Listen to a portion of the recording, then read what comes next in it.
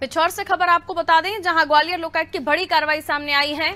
पटवारी को दस हज़ार की रिश्वत लेते पकड़ा गया। पट्टे की ज़मीन के, पट्टे की ज़मीन से नाम हटाने के एवज में रिश्वत मांगी थी। फरियादी के पिता की पट्टे की ज़मीन पर फर्जी तरीके से पटवारी ने चाचा का नाम जोड़ दिया था। चाचा का नाम हटाने के एवज में चालीस हज़ार की मांग की गई थी, जिस पर फरियादी द्वारा लोकायुक्त ग्वालियर शिकायत की गई है।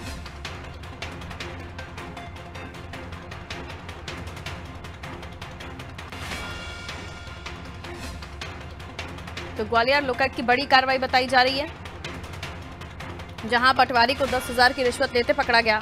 पटवारी को ज़मीन के नाम हटाने के एवज में, पट्टे की ज़मीन, पट्टे की ज़मीन से नाम हटाने के एवज में ये घूस दी जा रही थी। फरियादी के पिता की पट्टे की ज़मीन पर फर्जी तरीके से पटवारी ने चाचा का नाम जोड़ दिया था।